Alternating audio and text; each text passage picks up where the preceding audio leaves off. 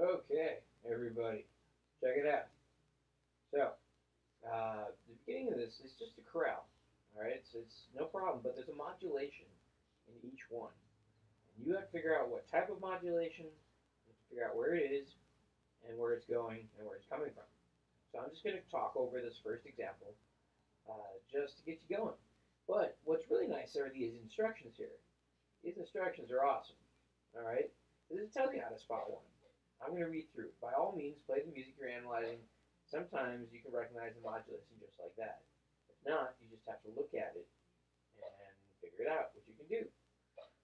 So, uh, first of all, what you do is you look for accidentals or pitches that are not in part of the established key. All right, here, down here, we got two sharps, probably in D major. All right, and we know it's modulating. So it's probably, you know, when we look to the end, it ends on an A, C sharp, E, and an A. That's an A major. So it's modulating from D to A, most likely. So the first thing you do is if, you know, you guys see a cadence here, 5 to 1. You know, um, you're going to look for the first accidental that you see, all right, because it doesn't belong in the key. So boom, go right here. That's your first example of a G sharp. What you do then is you look to the chord before that. And what you see here is a G major chord.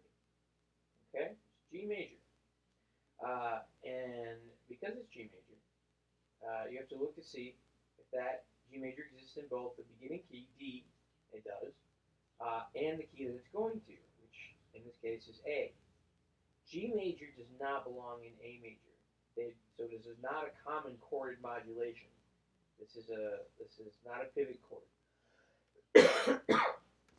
uh, so what this is is um, a uh, chromatic modulation, and you would just write. I'm going to A right before this chord with the accidental.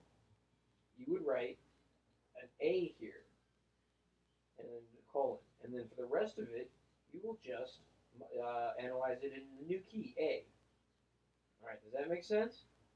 Now, let's see if we can find a pivot chord modulation. Um, let's see here. Let's see, yeah, here we go. Here we're in E flat.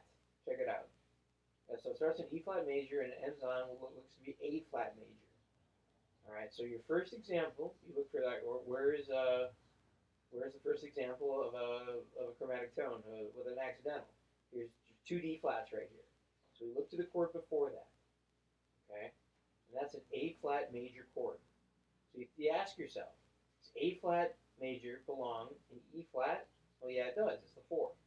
And uh, does A flat exist in uh, A flat? Yeah, it's the one. So this is what you would call a pivot or a common chord modulation. And you would draw a bracket here at the chord before the accidental. Boom. And at the bottom of the bracket, you would write A flat, because that's where you're going, and you would finish uh, the analysis. You would also write the chord above that, uh, right after the bracket, uh, of what it was in E flat, which would be a, uh, a 4 6. So um, look again at the materials. Uh, you can see exactly how to do this. I just wanted to guide you through how to swap the modules. Just follow the instructions, like it's all here. Um, so give it a go. Let me know if you have any questions. Okay, bye.